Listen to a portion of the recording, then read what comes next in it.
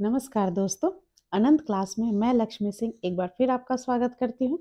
हम लोग पढ़ रहे थे नेशनल एजुकेशनल पॉलिसी, जिसके मैंने एक भाग पढ़ाया था और मैंने आपसे बात कही थी कि मैं नेक्स्ट वीडियो में इसके चरण लेकर आऊँगी कि इसके स्टेजेस कैसे नई शिक्षा नीति ने अपने बच्चों के एजुकेशन के स्टेजेस को कैसे बनाया है, हमने कुछ डिस्कस भी किया था और उसको एक्सप्लेनेशन कुछ इस प्रकार से देने हैं। शुरू करें। Stages of N E P two zero two zero इसने कितने चरणों में बांटा है? ये क्वेश्चन हो सकता है कि कितने चरणों में एनईपी को बांटा गया है? तो चार चरण में बांटा गया है। चार चरण है foundation stage preparatory stage middle stage and secondary stage तो इसको समझने के लिए मैंने टेबल वाइज आपको बना के दे रही हूँ ताकि आप एक जगह जब इसको रखोगे तो आपको ये बहुत अच्छे से क्लियर हो जाएगा। अलग अलग इसके अगर बनाते हो आप चाहो तो नोट्स बना सकते हो डजेंट मैटर बट अगर आप इस तरह से कॉलम बना के पढ़ोगे तो आपको ज़्यादा जल्दी ही ये दिमाग में सेट हो जाना है। शुरू करें अपनी क्लास कहता है क्या?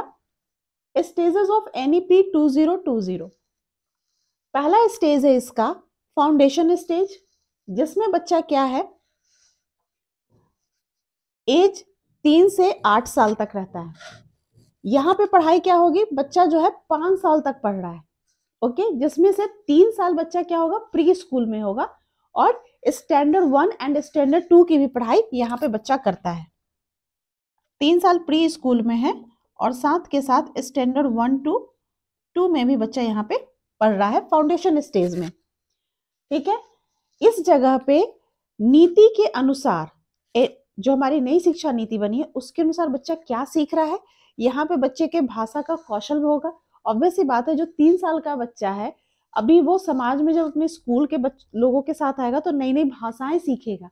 तो यहाँ पे क्या है, बच्चे के लैंग्वेज स्किल यहाँ पे डेवलप होगी, भाषा कौशल सीखेगा और शैक्षिक स्तर का मूल्यांकन, यानी कि भाषा कौशल और शैक्षिक स्तर दोनों का क्या होगा, मूल्यांकन होगा और उसका विकास करने का यहाँ पे प्रयास किया जाएगा। ओके? नेक्स्ट है प्रिपेटरी स्टेज। प्रिपेटरी स्टेज क्या है? आठ से ग्यारह साल की होगी। और यहाँ पे बच्चा किस क्लास में होगा? स्टैंडर्ड थ्री टू फाइव, यानी थ्री, फोर एंड फाइव। यहाँ पे मेन ध्यान दिया जाएगा बच्चे के संख्यात्मक कौशल, यानी कि बच्चे को गणित आना चाहिए। बच्चे को कैलकुलेट करना आना चाहिए जोड़ घटाव आ जाना चाहिए। फिफ्थ स्टैंडर्ड तक बच्चा यहाँ पे रह रहा है। ठीक है? इस पे विशेष ध्यान दिया जाएगा। और साथ के साथ बच्चे को क्षेत्रीय भाषा का भी ज्ञान दिया जाएगा इस जगह पर। ओके नेक्स्ट है मिडिल क्लास मिडिल स्टेज माध्यमिक स्तर। जो माध्यमिक स्तर होगी एज क्या होगी बच्चे की इस जगह पे? 11 टू 14 इयर्स का बच्चा होगा और उसके क्लास क्या होंगे? स्टैंडर्ड सिक्स टू एट यहाँ पे मैंने पिछले वीडियो में भी बात कही थी आपसे कि बच्चा सिक्स स्टैंडर्ड में ही उसको क्या होगा? कोडिंग सिखाया जाएगा। ठीक है? कोडिंग मीन्स क्या था? प्रॉब्लम सॉल्विंग एबिलिटी उसमें डेवलप की जाएगी। उसको क्या होगा? क्रिएटिव होगा और बच्चे की थिंकिंग कैपेसिटी ज़्यादा बढ़ेगी और वो रीजनिंग जो तर्क शक्ति होती है उसका विकास ज़्यादा होगा। इसलिए यहाँ पे कह रहा है कि बच्चे को क्या करना है? कोडिंग सिखाना है और साथ के साथ बच्चे को व्यवसायिक परीक्षण भी, यानी कि प्रशिक्षण कहो या परीक्षण, कि व्यवसायिक परीक्षण भी उसको आना चाहिए। और इसके लिए हमें क्या करना है? बच्चे को व्यवसायिक एक्टिविटी मतलब उसको व्यवसायिक इंटर्नशिप भी देना है साथ कहने का मतलब ये है कि जो बच्चा व्यवसायिक परीक्षण, जैसे कि यहाँ पे बच्चा क्या होगा? मिट्टी के बर्तन बनाना सीखेगा बागवानी करना सीखेगा लकड़ी का काम सीख रहा है। ठीक है, ये उसको वोकेशनल ट्रेनिंग जब दी जा रही है तो साथ के साथ उसको इंटर्नशिप भी यहाँ पे दी जाएगी। नेक्स्ट कहता है सेकेंडरी स्टेज जिस जगह पे कह रहा है कि एज जो होगी बच्चे की क्या होगी?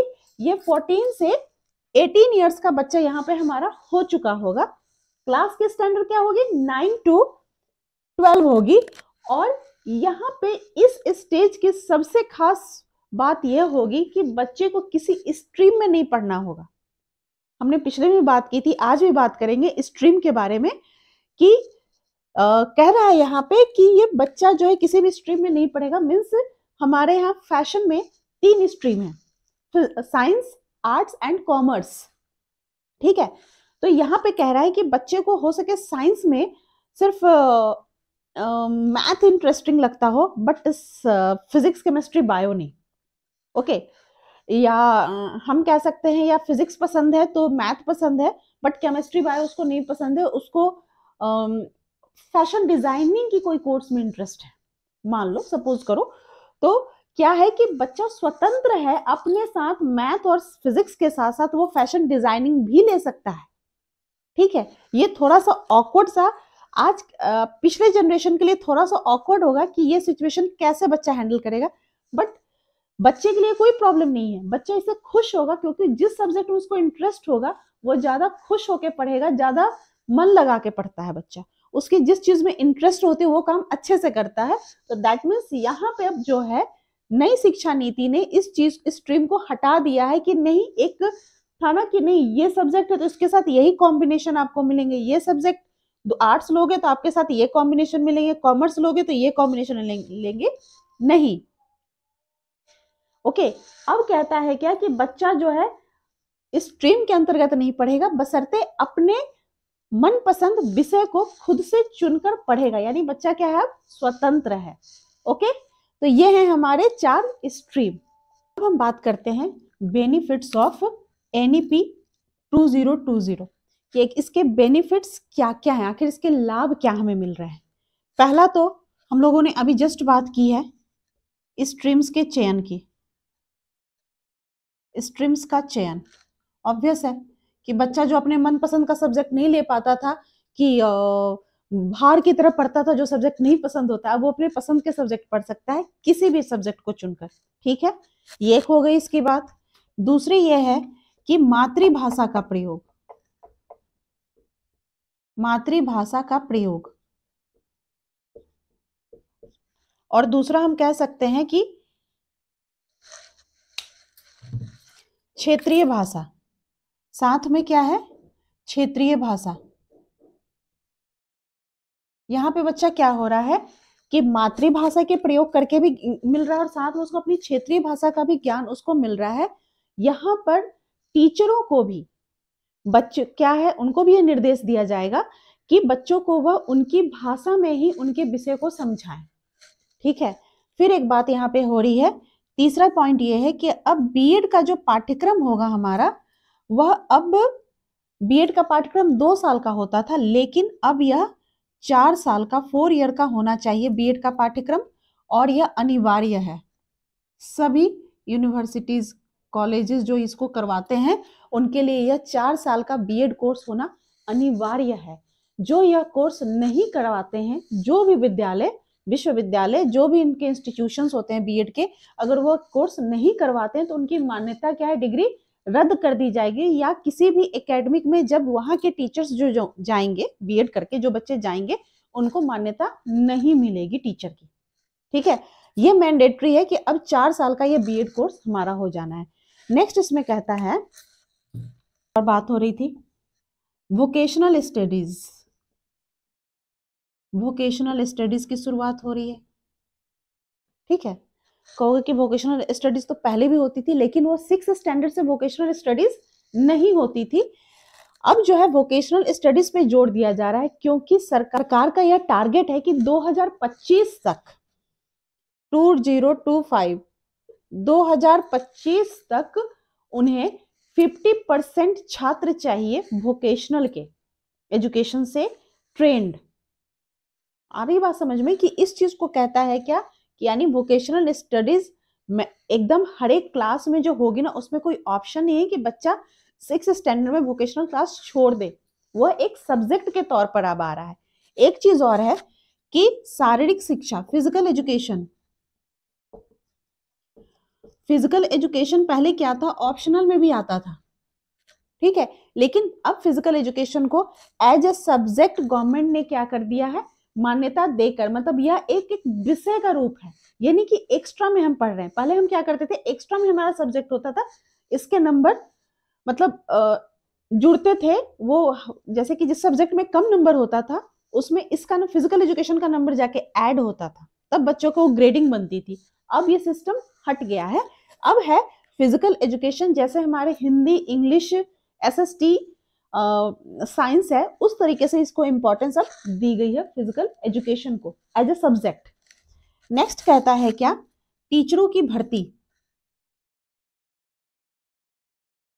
एम्प्लॉयमेंट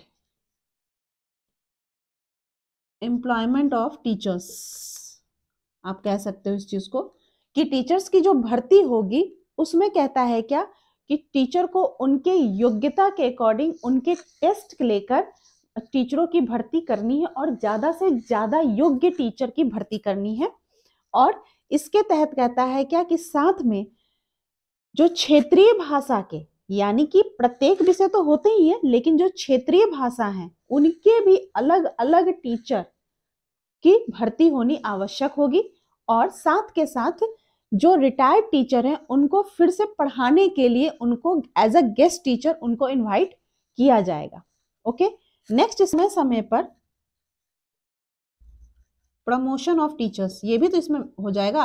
प्रमोशन ऑफ़ टीचर की टीचर को आप तो सेलेक्ट कर लिया। लेकिन टीचर जो है, अगर उसको आप उसके काम के अकॉर्डिंग उसको अगर प्रमोशन नहीं देते हो तो टीचर कहीं ना कहीं जॉब से सेटिस्फाइड अपने नहीं होता है। ओके तो इस जगह पे कहता है क्या कि टीचर को एम्प्लॉयमेंट के लिए आप अगर बेस्ट टीचर ले रहे हो तो उसके कार्य के अकॉर्डिंग उसको समय समय पर आपको प्रमोशन भी देना अनिवार्य होगा। ओके, ये सारी चीज़ें जो मैं बता रही हूँ, यह आपके एनईपी के अंतर्गत आ रही है। नेक्स्ट इसमें कहता है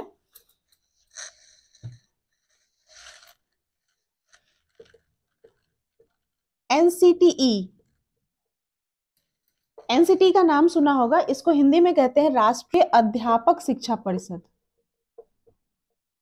National council of teacher education, अध्यापक शिक्षा परिषद। इसके भी पाठ्यक्रम में कह रहा है क्या कि सुधार होना ज़रूरी है। ये जब सुधरेगा, तभी तो यहाँ एम्प्लॉयमेंट ऑफ़ टीचर्स के एजुकेशन जो आप सही दे सकते हो। टीचर एजुकेशन अच्छा लेकर आएगा।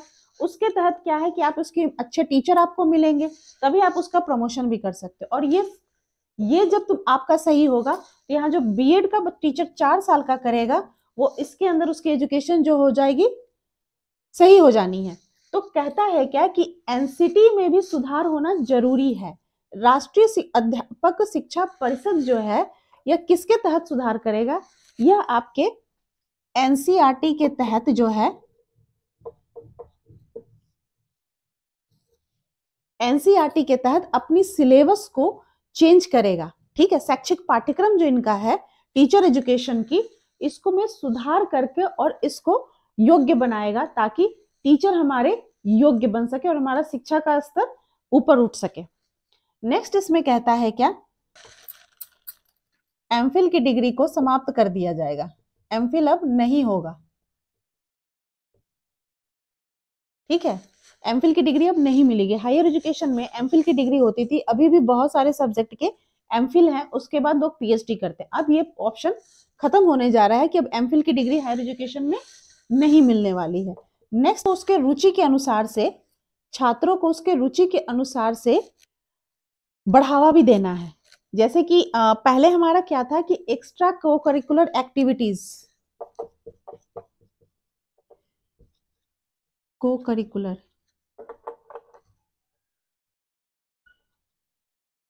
एक्स्ट्रा करिकुलर एक्टिविटीज़ बच्चा करता था तो उसमें हम क्या करते थे कि उसको एक्स्ट्रा को करिकुलर एक्टिविटीज़ हम कहते हैं ना कि बच्चे एक्स्ट्रा एक्टिविटी जैसे कि खेल कर रहा है कोई आ, कोई स्पेसिफिक खेल है क्रिकेट है फुटबॉल खेल रहा है या बॉक्सिंग सीख रहा है कराटे सीख रहा है ये क्या है उसकी एक्स्ट्रा एक्टिविटीज़ है।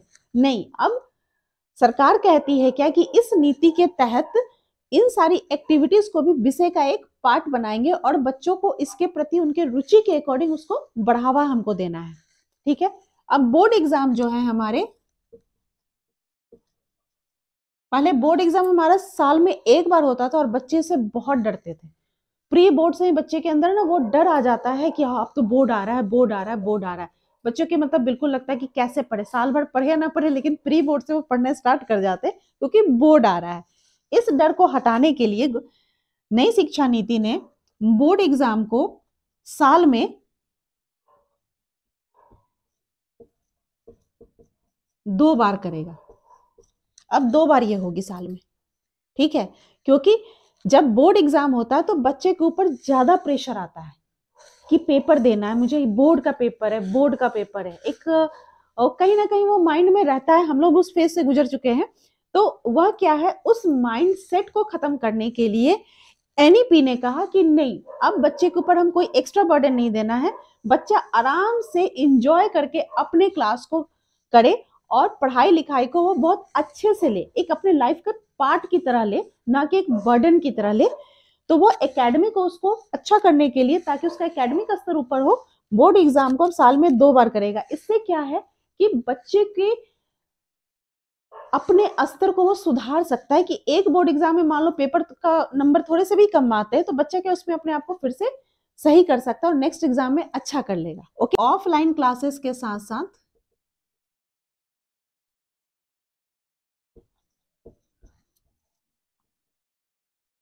क्लासेस के साथ साथ अब ऑनलाइन क्लासेस भी होंगी बच्चों की। ये भी इसमें फ़ायदा है एनईपी में कि ऑफलाइन के साथ साथ ऑनलाइन भी क्लासेस चलेगी। साथ के साथ रीजन ये है कि कुछ बच्चे, जैसे कि मैंने आपको पिछले वीडियो में बताया था कि कुछ बच्चे अगर किसी भी कारण से क्लास में अटेंड नहीं हो पाते हैं, कोई भी पारिवारिक रीजन हो कोई भी रीजन ऐसी हो सकती है तो उसको ज़्यादा से ज़्यादा विद्यालय से जोड़ने के लिए यह सबसे अच्छा तरीका है कि ऑनलाइन क्लासेस से भी हम बच्चे को जोड़ सकते हैं ताकि उसकी पढ़ाई भी पीछे नहीं हो और बच्चा अपने पढ़ाई में पीछे न रहे। ठीक है? बात कह रहा है कि यहाँ पे जो हमारा सिलेबस होगा, वह क्या होगा? फ्लेक्सिबल करिकुलम होगा। फ्लेक्सिबल करिकुलम होगा। इसके तहत कहता है क्या? में आ रहा है एकेडमिक बैंक क्रेडिट। और digital academic credit. Academic bank credit तैयार का गठन करना है। एनईपी के तहत एकेडमिक बैंक क्रेडिट तैयार करना है और इसके तहत इसको ट्रांसफ़र हम करेंगे डिजिटल एकेडमिक क्रेडिट में और हायर इंस्टीट्यूशंस जो होंगे, इस चीज़ को क्या करेंगे? एक जगह संग्रहित स्टोर करके रखेगा और जब बच्चा लास्ट ईयर अपने क्लास के लास्ट ईयर में पहुंचेगा, उस समय वो सारे क्रेडिट पॉइंट्स उसके जो हैं इकट्ठे करके ट्रांसफ़र कर दिए जाएँगे उसके फाइनल ईयर में। और सभी को जोड़ के इकट्ठे उसके सर्टिफिकेट में उसको दिया जाएगा। है क्या? यह जो मैंने बात आपसे कही है, ये हायर एजुकेशन में काम आएगी। ग्रेजुएशन लेवल पे अब कहता है क्या कि इस नीति के तहत 2030 तक ईच डिस्ट्रिक्ट के पास आपका क्या होना चाहिए?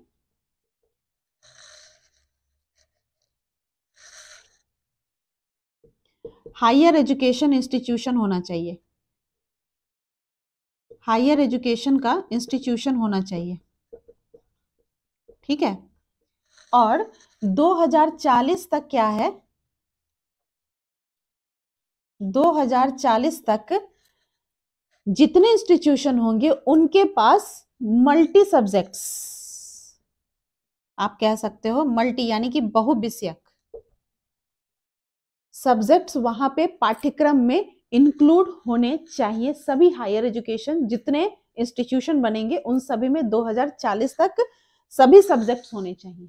ताकि बच्चे के पास सारे ऑप्शन हो। ये नहीं कि हमारे डिस्ट्रिक्ट का बच्चा जो है किसी और डिस्ट्रिक्ट में जाके अपनी पढ़ाई कर रहा है अपने मनपसंद विषय के लिए। क्योंकि बच्चे के आने जाने में जो असुविधा होती है कहीं पे, उस टाइम को मैनेज कर सकता है अगर उसके डिस्ट्रिक्ट में ही उसको हायर एजुकेशन की, उसके पसंद की सब्जेक्ट उसको मिल जाती है तो ओके?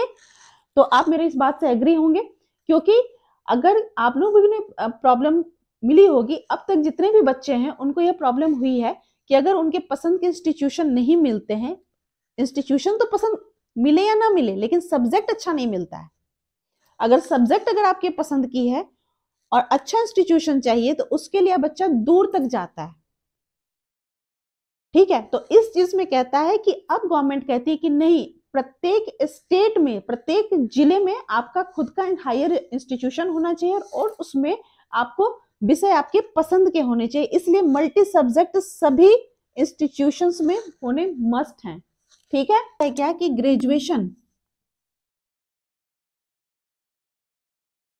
जिसको हम लोग यूजी भी कहते हैं। अब यह जो है तीन साल का था थ्री अब हो गया ये तीन से चार साल का हो गया। पहले तीन का था, तीन से चार साल का होगा। मतलब ये नहीं पढ़ना कि तीन से चार साल का होगा, पहले तीन था। आप कह सकते हो? तीन से चार साल आप कह सकते हो, इसको मैं एक्सप्लेन करती हूँ। ग्रेजुएशन कहता है कि तीन से चार साल का होगा। इस जगह पे कह रहा है क्या कि अब बच्चे के पास ये ऑप्शन है। पहले जब हम लोगों ने ग्रेजुएशन किया था तो चाहे अभी भी जो बच्चे कर रहे हैं, उनमें ये ऑप्शन नहीं है कि हम बीच में अपने एकेडमी को आप नहीं छोड़ सकते हो, यानी कि आपको ग्रेजुएशन की डिग्री नहीं मिलेगी। अब ऑप्शन ये है बच्चे के पास इस शिक्षा नीति के तहत कि बच्चा जो है फ़र्स्ट ईयर तक अगर पढ़ रहा है, तब भी उसको डिग्री मिलेगी। दो साल पढ़ा है, तब भी उसको डिग्री मिलेगी, तीन साल पढ़ा है, तब भी डिग्री मिलेगी, चार साल पढ़ा है, तब भी डिग्री मिलेगी। बट हर एक डिग्री की पोजीशन अलग अलग होगी, मान्यता अलग अलग होगी। मिलेगी यूजी की डिग्री ग्रेजुएशन की बट मान्यता अलग अलग होगी। क्योंकि या जो बच्चा चार साल पढ़ेगा, उसको दो साल पढ़े हुए बच्चे के इक्विवेलेंट तो आप नहीं रख सकते हो। तो हर की मान्यता अलग अलग होगी। इसको कहता है कि अगर बच्चा दो साल तक तो उसको सामान्य की डिग्री मिलेगी, ठीक है? तीन साल तक अगर पढ़ता है बच्चा तो उसको ग्रेजुएशन की डिग्री मिलेगी। बट अगर बच्चा चार साल तक अगर ये ग्रेजुएशन पूरा कंप्लीट करता है, अपने पसंद के विषय के साथ तो भी उसको रिसर्च की डिग्री मिलेगी। ठीक है? यानी एक चीज़ और इस जगह पे कह रहा है कि अगर बच्चा ग्रेजुएशन में दूसरा सब्जेक्ट लिया फ़र्स्ट ईयर में, दूसरे सेकंड ईयर में वो पसंद नहीं आया, उसने चेंज कर दिया। तीसरे ईयर भी वो चेंज कर सकता है, चौथे ईयर भी चेंज कर सकता है। अब आप कहोगे कि तब तो क्या, उसको नंबर क्या मिल रहा है? क्या पढ़ रहा है बच्चा? भाई कह सकते हैं ना कि बच्चा क्या पढ़ रहा है कि हमेशा सब्जेक्ट स्वेप कर रहा है वो? नहीं। सपोज़ आप मान लो गवर्नमेंट यहाँ पे कहती है बच्चे गवर्नमेंट को मतलब अब यह है, शिक्षा नीति को यह मतलब है कि बच्चा पढ़ना चाहिए, उसको नॉलेज होना चाहिए। नॉलेज फ़र्स्ट है। तो कहता है कि अगर फ़र्स्ट ईयर में बच्चा सपोज़ उसने ज्योग्राफी ली है, ठीक है? कोई बात नहीं ज्योग्राफी पढ़ लिया, बहुत अच्छे से एक साल उसने पढ़ा, उसने दिया।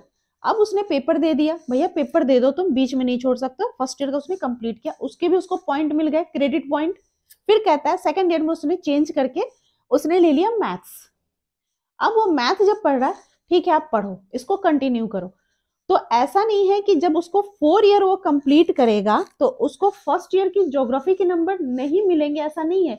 उसके भी नंबर इसके इस ईयर में जाके ऐड होने हैं।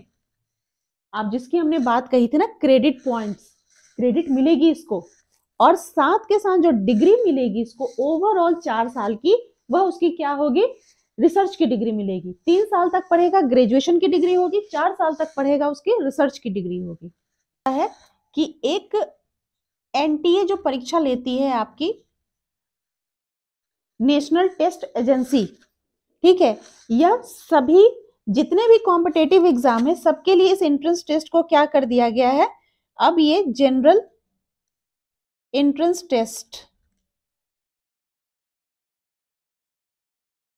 general entrance test लागू करेगी जो सभी ही सब जितने भी एग्ज़ाम्स होते हैं ना कॉम्पिटेटिव जिसको एनटीए कंडक्ट करता है, उसको अब नाम दिया जा रहा है जनरल एंट्रेंस टेस्ट कर दिया जाएगा। ठीक है? और क्वेश्चन है हमारे, जैसे कि गवर्नमेंट को हम लोग अलग रखते हैं प्राइवेट को अलग रखते हैं, नहीं। अब कहता है क्या? जितने भी गवर्नमेंट हैं और प्राइवेट हैं, सभी को मान्यता एक जैसी मिलेगी।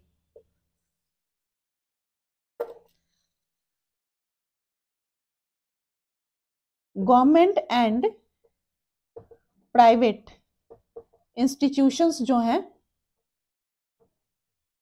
इन सभी को मान्यता एक समान की होगी, इनकी डिग्रीज की मान्यता भी एक समान की होगी, ओके?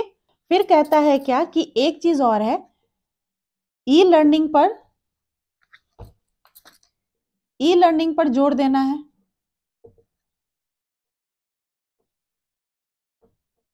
ई लर्निंग पर ज़ोर देना है एनईपी के तहत। क्यों? क्योंकि किताबों के बोझ को कम करना है ताकि बच्चा जो है जल्दी कनेक्ट होता है ई लर्निंग से तो क्या है कि उसकी किताब की बोझ भी कम हो जाएगी। इसके और एक चीज़ कह रहा है कि कोरोना टाइम में बहुत बच्चों की पढ़ाई इफ़ेक्ट हुई थी। ठीक है? इसके लिए एनईपी कहती है क्या कि अब जो है बस्ते आ, किताब का जो बोझ होगा सिलेबस सिलेबस जो है वो तीस प्रतिशत सिलेबस जो है अब कट है। कट है। ठीक है? सिलेबस जो पहले थे, उसमें से तीस प्रतिशत सिलेबस अब कट कर दिया गया है। ठीक है? तो ऐसे भी बस्ते का बोझ कम हो गया। और यहाँ कहते अगर ई लर्निंग को हम बढ़ावा देते हैं तो इससे क्या है कि बच्चों को ऐसे भी किताब का बोझ कम हो जाएगा। और एक कहता है कि जो आपके डिसेबल्ड चाइल्ड होते हैं डिसेबल्ड चाइल्ड उनकी जो एजुकेशन होगी उसके भी सिलेबस में कहता है क्या? के करिकुलम में।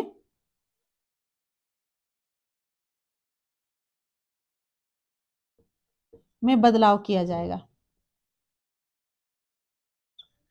उसके डिसेबल चाइल्ड के भी करिकुलम में बदलाव ज़रूरी है, क्योंकि जहाँ सारी चीज़ें बदल रही हैं, वहाँ इन बच्चों के लिए खासकर बदलाव बहुत ही ज़रूरी है। ओके? तो कहता है क्या कि ये सारे पॉइंट मैंने आपको दिए हैं 22 पॉइंट्स आपको दिए हैं, जो मैंने कहा था कि बेनिफिट्स ऑफ़ एनईपी 2020 और एक चीज़ मैं आपको चलते चलते बताना चाहती हूँ कि ये जो नया सेशन हमारा आ रहा है, इस नए सेशन यानी कि अप्रैल से एक अप्रैल से बच्चों के नए सेशन स्टार्ट हो जाते हैं तो इसी से गवर्नमेंट जो है ऑल ओवर इंडिया में एनईपी 2020 लागू होने जा रही है। ठीक है? तो आशा करते हैं कि आपको ये सारी चीज़ें समझ में आ गई होंगी और है कि आपको मेरा आज का वीडियो पसंद आया होगा। नेक्स्ट वीडियो में फिर मिलती हूँ नए टॉपिक के साथ। ज़्यादा से ज़्यादा लाइक और सब्सक्राइब करिए और जो मेरे वीडियोस को देखते हैं, वो लाइक भी ज़रूर करिए और सब्सक्राइब भी ज़रूर करिए। मिलती हूँ नेक्स्ट वीडियो में, तब तक के लिए नमस्कार।